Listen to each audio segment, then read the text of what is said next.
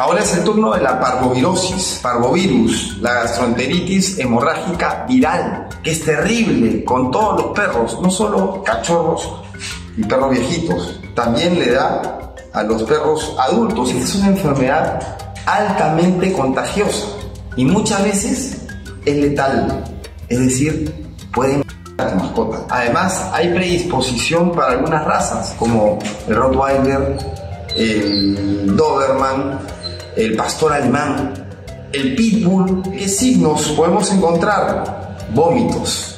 Y vómitos severos, eh, diarreas sanguinolentas, pestilente. Además, también cansancio, debilidad, fiebre. También existen condiciones como el estrés o en sobrepoblación. Lamentablemente cuando se venden tienen un montón de razas de perros que entran, salen, entran, salen y ahí es donde incuban la enfermedad y de todas maneras cualquier estrés, el estrés del carro, el estrés de llevarlo a la veterinaria, el estrés de llevarlo a bañar, todo eso se junta y explota y desencadena la enfermedad del parvovirus. El mejor consejo que les puedo dar es que vacunen a su mascota, a cualquier edad, no importa, el parvovirus mata, ya lo sabes.